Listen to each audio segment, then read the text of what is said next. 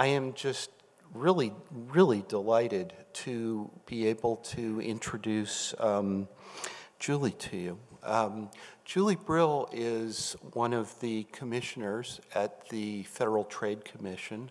She has held office there, I believe, for about five years now, um, which is uh, a lot of time and a lot of hard work on our behalf. Um, uh, during her um, time there, the FTC has um, done some really really um, illuminating and thoughtful work on issues surrounding privacy and uh, data brokerage and things like that. Um, that, of course, is just one piece of an enormous portfolio that the FTC has. Um, and um, I'm, I'm really grateful that uh, she has taken uh, some time out of her very, very busy schedule to come and share some thoughts with us here. Um, she's going to talk for a while, and then she tells me she will be happy to field some questions. And uh, without further ado, you can find bio in the web and things like that. I'm going to just invite Julie up to take the podium and share her thinking with us. Please welcome Julie Brill.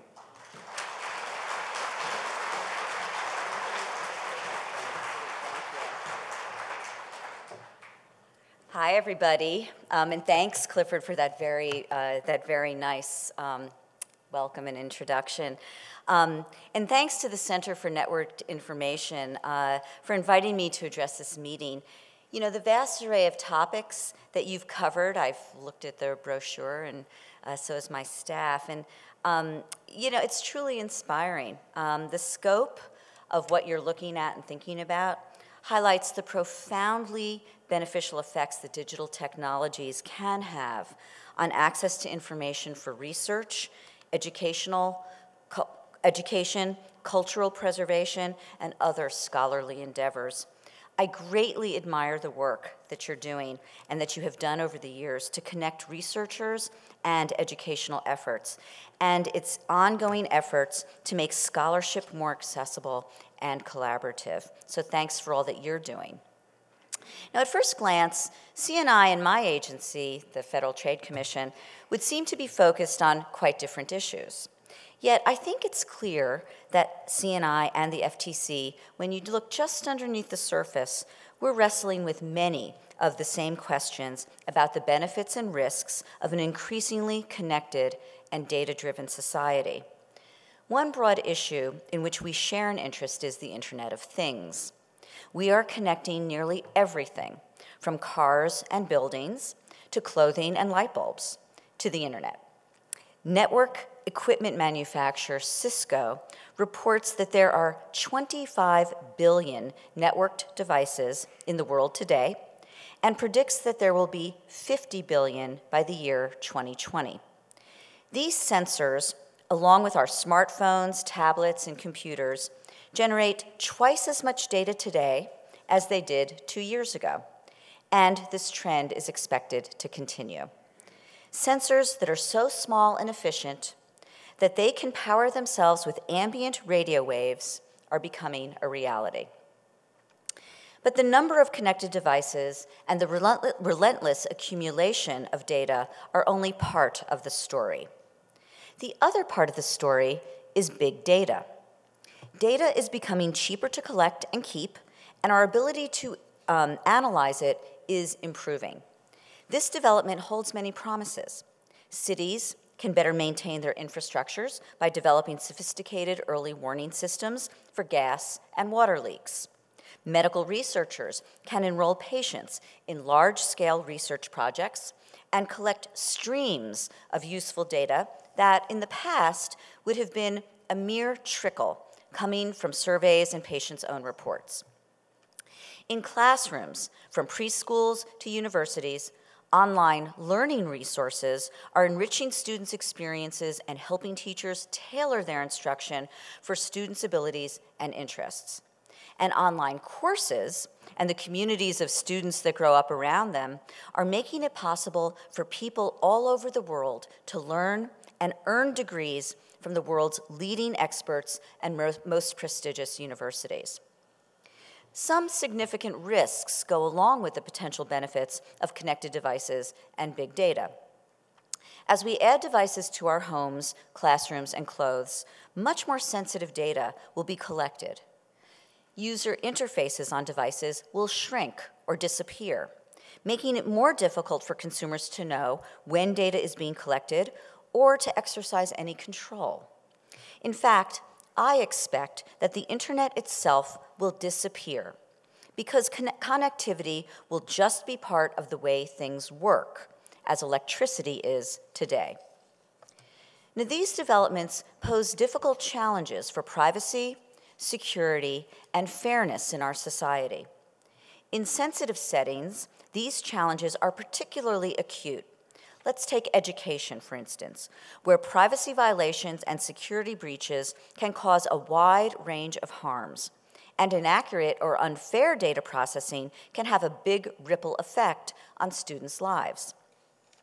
More generally, the data that will be available as a result of these connected devices will be deeply personal, and big data analytics will make the data more readily actionable. Some of these devices will handle deeply sensitive information about our health, our homes, and our families. Some will be linked to our financial accounts, some to our email accounts. And the devices themselves will be more closely connected with our actions in the physical world, making data security and device security critically important. But some fundamental aspects of our world are not going to change, no matter how connected and data driven we become. Most importantly, we as individuals will remain roughly the same. We will not suddenly become capable of keeping track of dozens or hundreds of streams of our data, peering into the depths of algorithmic decision making engines, or spotting security flaws in the countless devices and pieces of software that surround us. Faced with a world of uncertainty about which devices are safe and whether consumers are getting a fair shake in the big data world, consumers can use some help.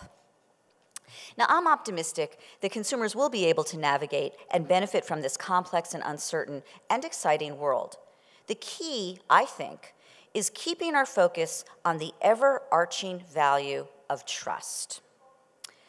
Trust is the flip side of risk. It is the expectation of favorable reciprocity from others in situations that are uncertain or risky. Trust does not depend on knowing everything there is to know about the person, company, or thing that, with which you're interacting. Instead, trust becomes an expectation in which we ask Will this person, company, or device do what I expect it to do, and not something else? So there's a close connection between trust and transparency. And it's this connection between trust and transparency in the context of the Internet of Things and big data that I'd like to discuss with you today. Now, before I get into that discussion, let me take a moment to first describe the role that the FTC, the Federal Trade Commission, my agency, plays in privacy, data security, and consumer protection in general. We are the nation's leading consumer protection agency, and we share competition enforcement authority with the Department of Justice. Under, the, under authority given to us under Section 5 of the Federal Trade Commission Act, the FTC is responsible for protecting consumers from a broad range of unfair or deceptive acts or practices. Now, it's under that authority, that Section 5 authority, that we have brought nearly 100 privacy and data security enforcement actions. The flexibility of Section 5 and our broad authority to obtain remedies that protect consumers have allowed us to keep up with rapid changes in technology. For example, we have brought actions against companies for allegedly collecting information inappropriately from consumers' mobile devices, from, for making unwarranted intrusions into private spaces, for exposing health and other sensitive information, for exposing previously confidential information about individuals' networks of friends and, and acquaintances, and for providing sensitive information to third parties who in turn victimize consumers. We've also brought hundreds of cases vindicating consumers' rights under laws that protect sensitive information. Those are special, separate laws that deal with information about children, financial information, medical data, and information used to make decisions about consumers' credit, insurance, employment, and housing. Now, the FTC also maintains a pretty busy policy docket. At the beginning of this year, we published a report on the Internet of Things, which emphasizes the importance of data and device security, as well as the applicability of established privacy principles to connected devices. Before that, we published a detailed study of the data broker industry, as, as Clifford uh, referred to. And um, frankly, as far as I'm concerned, the data broker industry has been in the big data business long before the words big data became part of our daily lexicon. We also held public workshop, workshops on so-called alternative scoring, uh, alternative uh, consumer scores or alternative scores and the potential for big data analytics to be used in ways that discriminate against consumers. And just last month, we held a public workshop on cross device tracking, which refers to companies' efforts to correlate consumers' activities, uh, any consumer's activities as, you, as she moves or as we move, from a smartphone to a tablet to a desktop uh, computer. So let me now turn to the connection between transparency, privacy, and consumer trust. Consumers want to know, and should be able to easily find out, what information companies are collecting, where they're sending it, and how they're using it. This kind of information is important to consumers' decisions about whether to use digital products and services in the first place. But transparency is also important in situations in which consumers are not making choices about whether to interact with the company, but instead where the company is operating behind the scenes in ways that can significantly affect consumers. Data brokers illustrate this point well. Data brokers are companies that assemble individual profiles on consumers by collecting information from far flung sources but typically they don't interact directly with the consumer themselves. Through these profiles, consumers can end up marketing can end up in marketing segments drawn along lines of race, ethnicity, financial status, health conditions, and other sensitive characteristics. With all of this data and the inferences that data brokers can draw from it, they put consumers into categories or segments that had labels such as, and we talk about this in our report, and, and it's been talked about in other reports, financially challenged is one segment, Bible lifestyle, another one, diabetes interest, metro parents, and that was a list of single parents who are, who are primarily high school or vocationally educated and are handling the stresses of urban life on a small budget. And another segment that um, was uncovered recently is called Timeless Traditions, a list of immigrants who speak some English but generally prefer Spanish. Now, while consumers might benefit from some of these segments by receiving more relevant advertising, for instance, consumers should have some choices about where their data ends up and how it is used. Transparency is enhanced by giving consumers what we call at the FTC just in time notices or information. That's giving them information at key moments when it is most relevant to them, such as when they're deciding whether to download an app or whether to allow that app to collect geolocation information or whether they want to make a purchase on a connected device. But transparency should also include helping consumers navigate the complex ecosystem of data, devices, and big data analytics operating behind the scenes so that consumers understand the practices that can affect them and exercise choices about these practices. Now think about the alternatives just for a second, the alternatives to being transparent with consumers. One reasonable response of consumers is that they'll harbor suspicions about a product or service and may choose to avoid it or use it less than they would if they trusted it fully. Another response, particularly when an entity the consumers don't know about is collecting or using data, is to react angrily when the truth about the company's data practices come, come out, comes out, sorry. And I think it's wise to presume that the truth will come out eventually. In either case, the result is the same. Consumers or customers lose trust in a company, and the results for the company can be devastating. Now, many companies and organizations understand this, uh, and this, particularly this important connection between transparency, privacy, and trust. But being transparent in the data intensive age is challenging. With the Internet of Things, many connected devices do not have a user interface to present information to consumers about data collection. Devices, as I mentioned, are becoming more numerous, adding to the mountain of information that companies present to consumers in their privacy policies that um, one researcher has found can be as long as um, Hamlet. It's true.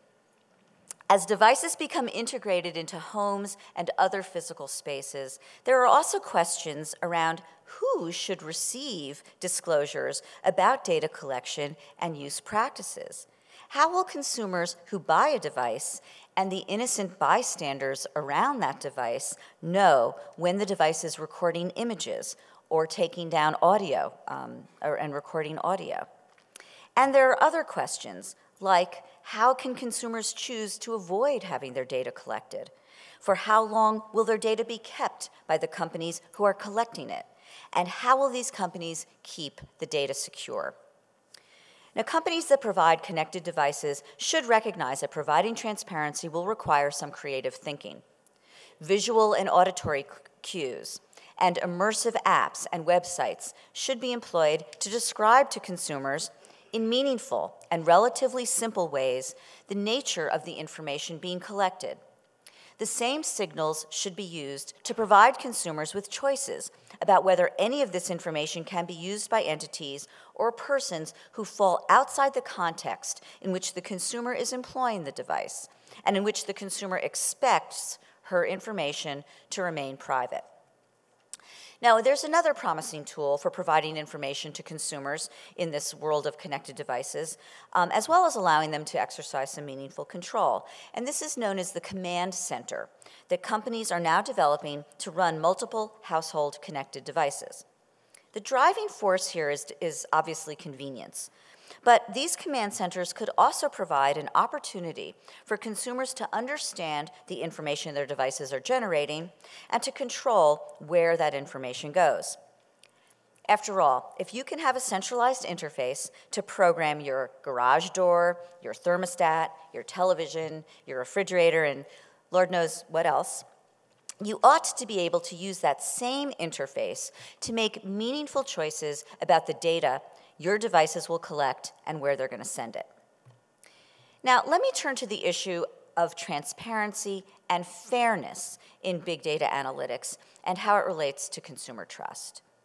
Big data analytics sorry, employed both by data brokers and within companies themselves are being used to segment consumers by interests and traits and to make an increasingly wide range of decisions about consumers.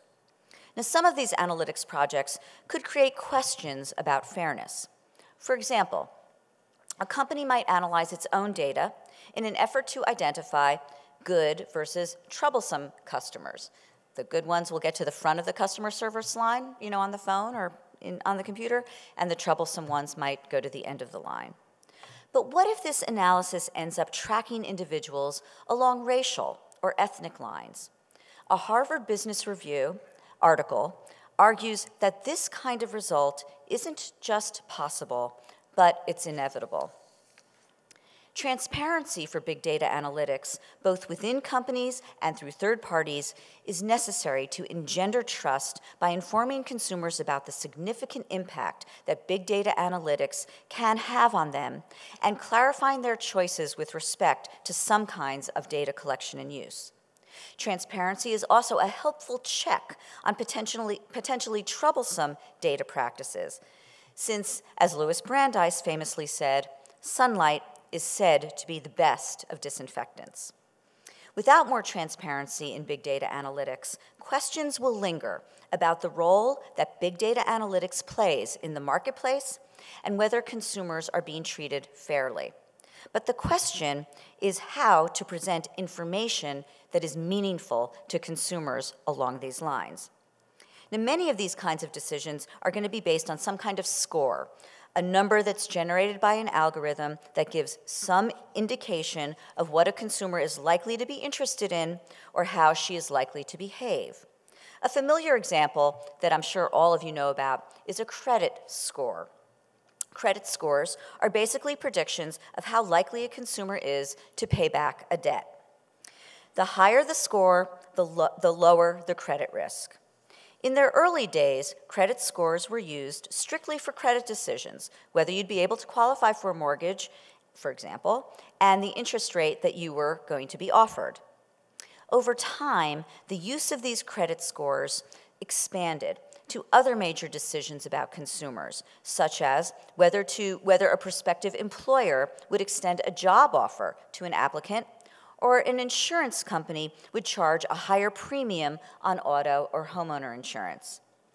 Now, we know a great deal about what information is in our credit reports and what our traditional credit scores look like.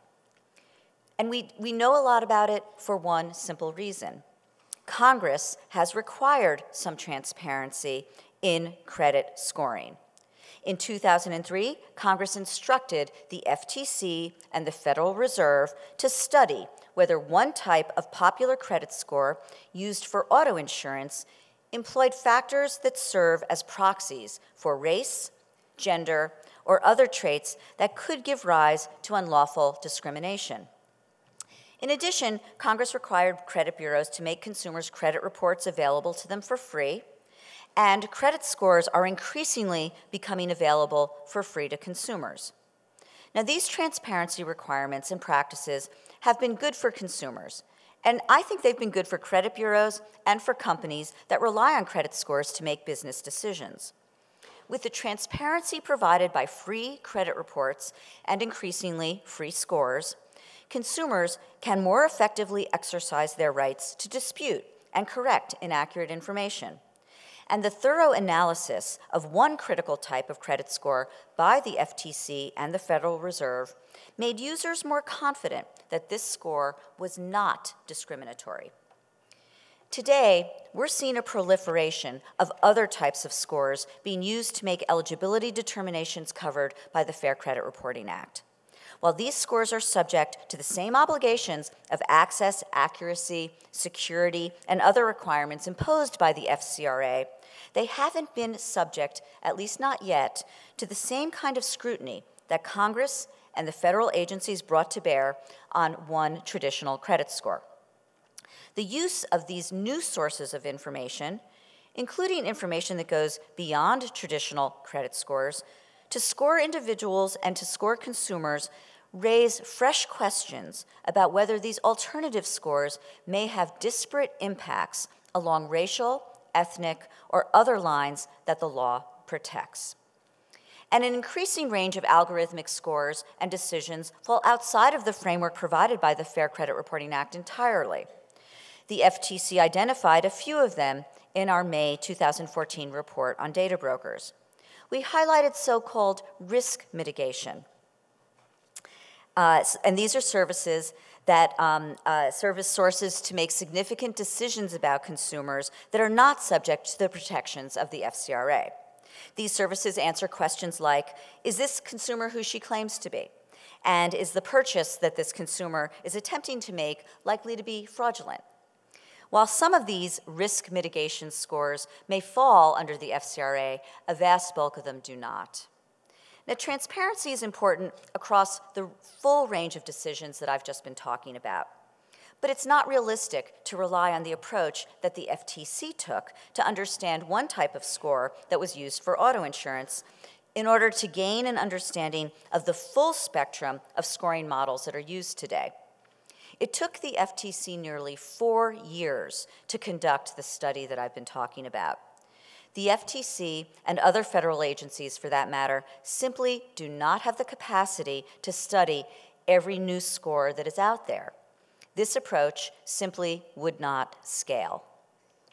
Moreover, scoring algorithms and other forms of big data analytics rely on statistical models and data system designs that few on the outside understand in detail. And even if we were, even if we were on the outside, those of us who are on the outside could peer into the hundreds of scoring algorithms that could potentially affect consumers, what would we learn? We might learn which features of a data set are used in a given algorithm, and what weight a company attaches to them. These details, though, might be so abstract and so rapidly changing that they would not tell government, consumers, or other concerned stakeholders much at all about what really matters. And that, I believe, is how the algorithms are actually used and whether they have discriminatory or other inappropriate effects.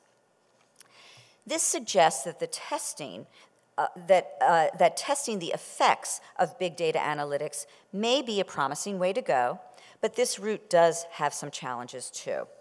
On a technical level, many companies will not have the data, the type of data that they need to definitively answer the question of whether they are treating consumers of different races or ethnicities differently. For example, an ad network might track consumers by using an email address or a device identifier. The ad network might be able to combine this information with other data that is readily available to it, such as which apps a consumer is using. To, and that, all that data would be used to make inferences about more sensitive personal characteristics. But this is far from having test data in which consumers' race, health conditions, financial status, and other sensitive personal characteristics are known. Doing this kind of analysis from the outside is difficult Researchers have done some proof of concept studies, but they required considerable work and involved efforts to tackle some cutting edge research questions. This means that companies using scoring models should themselves do more to determine whether they, their own data analytics result in unfair, unethical, or discriminatory effects on consumers. In addition to scrutinizing their own practices, companies can provide consumers with creative user interfaces to give consumers more meaningful, usable access to their data. Now, ultimately, I believe we need legislation to address many of the issues that I've been talking about. But technologists have a key role to play too. They have the skills to make data access tools that are easy for consumers to use and they have the technical insights that are necessary to determine whether specific analytics and specific analytic practices pose risks of excluding or otherwise placing at a disadvantage groups defined according to sensitive traits. I'm hopeful that companies will give technologists, including designers and user interface experts, the support and resources needed to tackle these critically important questions. So, although I've been addressing transparency, privacy, and fairness from the perspective of consumers and, and also talking a lot about trust, I hope that the challenges of the Internet of Things and big data that I've been discussing, as well as my suggested solutions, apply to the schools and institutions in which many of you work. Trust is every bit as important to students, parents, and researchers in the educational and research context as it is to consumers in the commercial marketplace. Despite the complexity of some of these problems, some simple questions and operating principles can help guide all of us. The more you can tell your stakeholders about what you're doing to keep their data secure, to use it fairly, and generally to meet their expectations for the kinds of sensitive data that you collect, store, and use, the better off everyone will be. Thank you very much.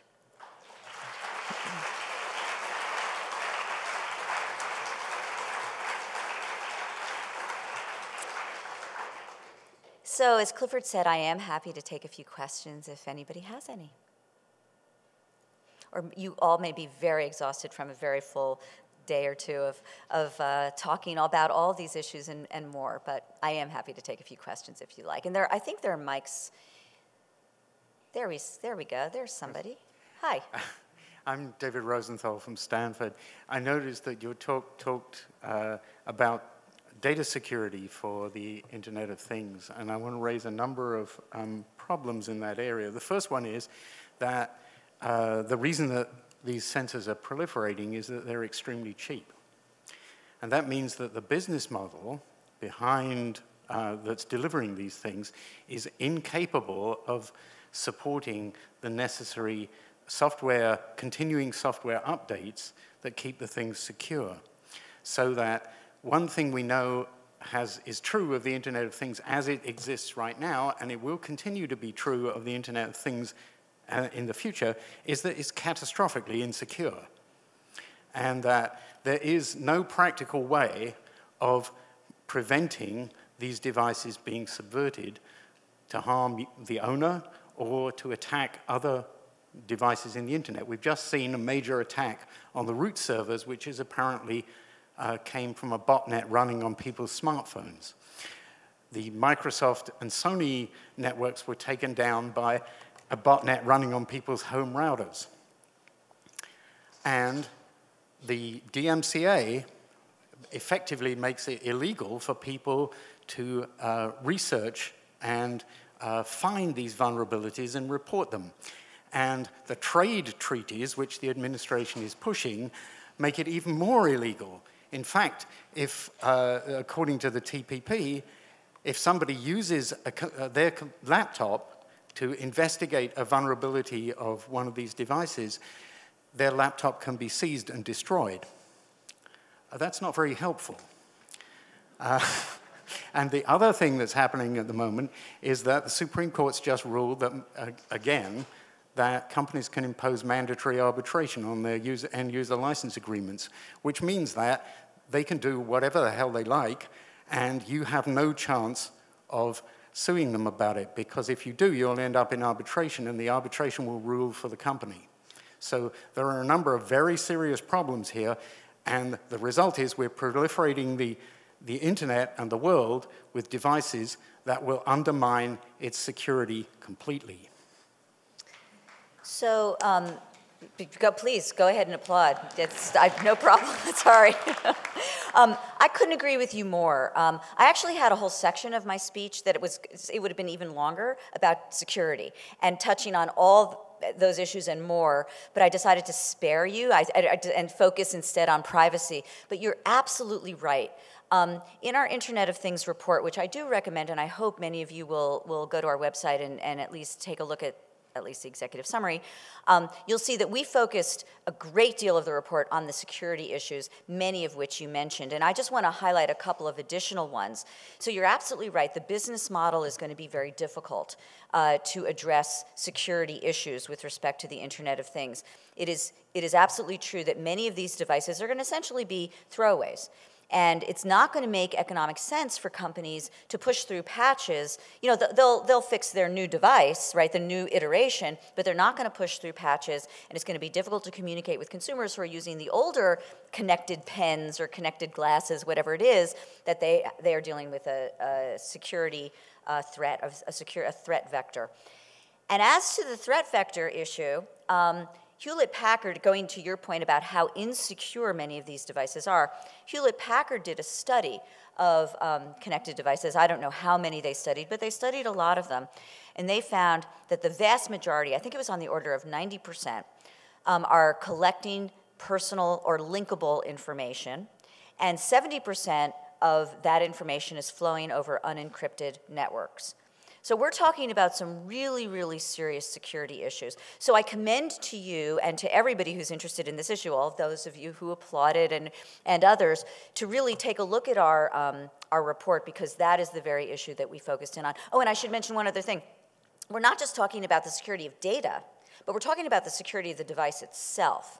And there have been proof of concept uh, hacks, if you will, or, or studies done of, you know, taking over a connected car or taking over a connected medical device. And this presents threats not just to individuals' data and their dignity and, their, and the fairness with which they're treated, as I spent my time talking about, but it also uh, affects their personal safety. So there are lots and lots of issues around this. Thank you for raising that because you spared me from having to talk about that and the, you know, put that into my speech. So thank you. Please. Hello, I'm Sue Gardner from University of Nebraska-Lincoln, and um, one thing I'm concerned about is accuracy of data being collected about me. Right. I have a very common name. Uh, one of the administrators of Wikipedia is named Sue Gardner. I've been conflated with her, which is really funny. I have a Um, friend named Sue Gardner. There you go. There's another person in She my. lives in Hartford. Uh, See, there's another in my town. I have to always give my address when I pick up my dry cleaning. Um, and Google Scholar, for instance, conflates me with other people with similar names. Uh, my husband, in fact, gets confused with me, and he's, he's very accomplished in writing, so uh, I bring his H score down a little bit, he raises mine. And um, I've tried to disambiguate these things sometimes, and then I sat back and thought, maybe I don't really want people or you know whoever is out there and to know accurate information about me. So i stopped trying to disambiguate all of that. So i just wanted to uh, bring that up and maybe ask your comments about that issue. Sure, it's a great, it's another great issue. Um, so the accuracy of this information is a, is a big issue, and it's one of the reasons why, um, outside of the credit reporting context, I have been calling for legislation that would require data brokers that are selling these profiles to allow consumers to access their information so that they could correct it if they wanted to. Let me just mention a, a couple of things here. Um, so uh, the reason I spent a little bit of time talking about credit reports in my talk is because they really are um, the progenitors of big data. And Congress decided back in 1970 to place rules around how credit reports could be used and how individuals could access their reports and correct them because of the fact that this data was, be used, was being used for very, very sensitive purposes. Can you get a loan and for how much? Can you get insurance and how much is that going to cost? Can you get a job? Can you get housing like as a tenant? Can you rent? So um, Congress decided because it's being the, this data was being used for very important and sensitive decisions, consumers should be able to access that information and, and correct it. Um, I absolutely believe the same thing should happen with respect to data brokers. But I have had a similar, I want to just mention a personal experience that I had that's similar to yours. Um, there is one data broker that has been listening to me. Actually, all of them are listening to me. Um, but there's one that has taken action and has provided an immersive tool for consumers to use. And it's an online tool that consumers can go to and look at the data, at least some of the data that this company has. The company is called Acxiom. It's one of the biggest data brokers that exists. And the website or portal is called aboutthedata.com. And you can go to it and see, with respect to your marketing profile, not your risk assessment profile, which I also mentioned in my talk, but your marketing profile, that is, advertisements that you're going to see and whatnot, how you're being categorized. So I went to, of course, I went to the portal and uh, to see how I was being categorized. And there were several errors in it. Um, I think they had my salary wrong and they had my job wrong and a couple of other things. I decided not to correct it for the very reasons that you're talking about. I kind of thought, nah, do I really want advertisers to know that much about me? Um, similarly, I went to Google, and Google actually does have a really good tool that you can see if you can find it, and it's not really not, if I could find it, you guys could find it. I mean, it's not that hard to find. Um, but you can go and you can see how you're being categorized by Google. And Google has me pegged as a 65 year old man. And it's because I watch a lot of sports. And I'm also much younger than 65, but I watch a lot of sports. I, I watch a lot of sports late at night because my family isn't in Washington here with me, and so I'm here by myself, and I just watch sports. And I love basketball, I love soccer. So they've decided I'm a 65 year old man. And I could have gone in and changed that too and corrected that, but I decided not to. I decided, hey, let's see, let's see what I get as a 65 year old man. I'll walk in someone else's shoes for a while. So that's just, but I do think this issue about correcting information when consumers want to. You don't have to, but if you want to, I think it's critically important that consumers be given this, this tool or these, these choices. Yeah, I'll, I'll take one more. Hi, my name is Anthony Helm. I'm at Dartmouth College. Uh, I really appreciate your opening comments about uh, the FTC's role as a leading consumer protection agency. Right. Um, and I just wanted to follow up some of the other security thread questions as well with, you know, the degree to which, or asking about the degree to which the FTC is countering or trying to advise other departmental agencies who are advocating, for example, for encryption backdoors into consumer devices and how that seems to go at odds. And there seems to be a real fundamental lack of understanding how one backdoor for one agency might as well be a backdoor for anyone with uh, enough, you know, gumption, as it were. Um, thank you. That's another great question. I shouldn't be surprised that I get great questions from a crowd like this. Um, uh, it is, you know, there's a lot of discussion underway now with respect to encryption and with respect to backdoors. I mean, you all undoubtedly have been following these issues. And, and frankly, these issues aren't really new. They kind of swing back and forth and have been swinging back and forth for a while now, at least since the 90s, you know, since the, the internet became such a powerful collector of data uh, that could be used not only by commercial entities, but also by governmental entities. Um, I have stated publicly in speeches and elsewhere that I am worried about the magical thinking, and that's what I think it is, that um, creates this notion that back doors can be exploited by some uh, for good purposes, law enforcement, let's just say, and, and national security and otherwise. Really, it's law enforcement we're talking about, though. And not exploited by, um, by people who have bad intentions, for instance, uh, hackers, um, other malicious actors. So I'm deeply worried about our ability to do this. Um, and and, and I I'm worried that the belief that it can happen um, uh, safely is, as I said, a form of magical thinking. Um, so I think we do need to keep in mind as we have these debates about encryption, uh, the consumer's perspective and the desire for consumers to have their information held securely and to ensure that there aren't going to be these vulnerabilities built in that could lead to significant problems for them, not just with respect to law enforcement, but in other areas that we've been dealing with for so long. So yes, we have been interfacing on that issue, and it's a deeply important issue. And as I said, I think the, the dialogue and the discussion about it will probably continue for, for quite some time. So thank you very much. I really appreciate it, and especially thank you for your questions. Take care. Bye-bye.